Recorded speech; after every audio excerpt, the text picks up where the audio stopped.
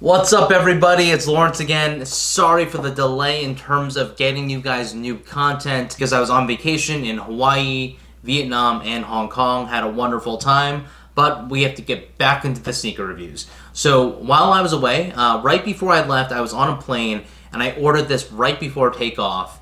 And uh, the takeoff piece of this is obviously super important because we, today we are going to be reviewing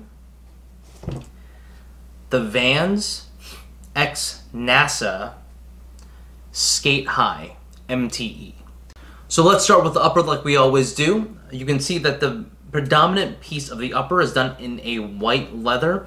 This is a premium version of Vans leather, which actually just means it goes from shitty quality leather to okay quality leather. Uh, so it's it's supple, it's pretty soft, it's pretty easy to squish onto. Um, not the most high quality leather, and you can tell that right away, but it's definitely not bad. In addition to that, there is a bunch of contrast stitching all throughout the shoe. Uh, what's cool is on the lateral side of the shoe, you can actually still see that there is the Vans signature logo over here with a piece of leather still stitched onto it. The other predominant piece that you're going to see on the lateral side is going to be a patch that's in Velcro.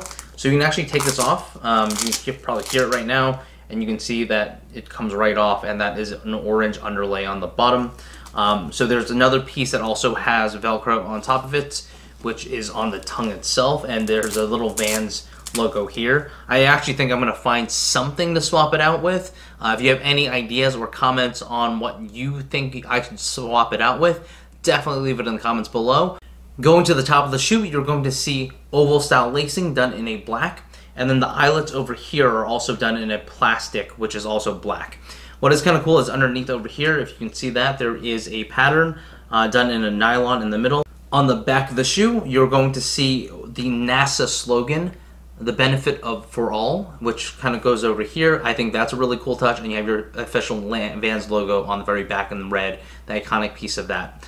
Uh, the cooler part about the upper is the exposed foam that you can see all the way on the top over here and then also some exposed foam over here as well as over here on the medial side. So I do want to show you the other shoe as well. So on the other shoe, instead of having the, the one patch that's removable, you actually have a NASA patch over here that is not removable. And then on the flip side, you also have a, an astronaut symbol over here. Going to the midsole, this is the part of the shoe that I absolutely love. Uh, I don't know what it is, but but it just looks like a space shoe. And so instead of the, the typical kind of Vans um, outer over here on the midsole, you're going to see something that has ribbing on it in the very front as well as the back of it. On the bottom of the shoe, you're going to see a pattern that is done in different colors uh, as well, and that is for grip purposes.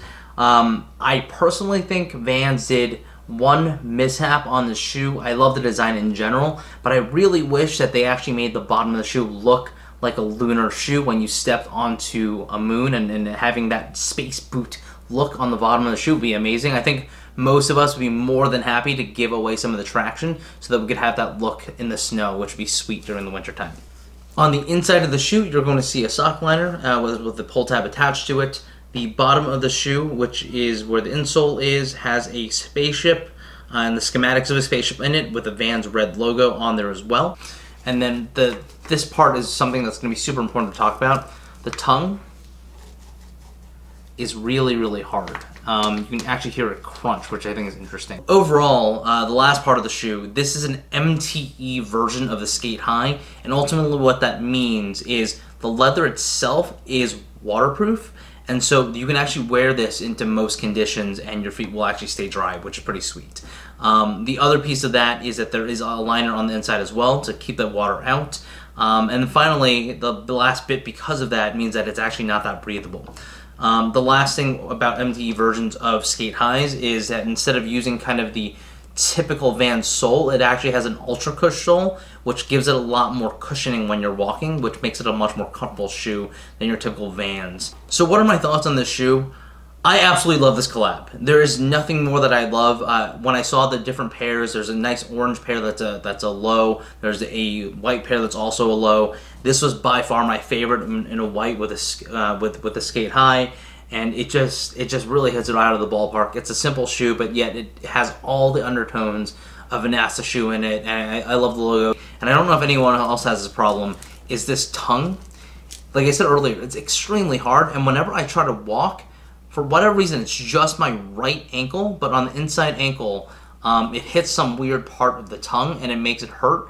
I'm hoping that over time this is going to break in and it won't affect it that much, but from a comfort level perspective, that is my one main gripe. I can't wear it too long for that reason.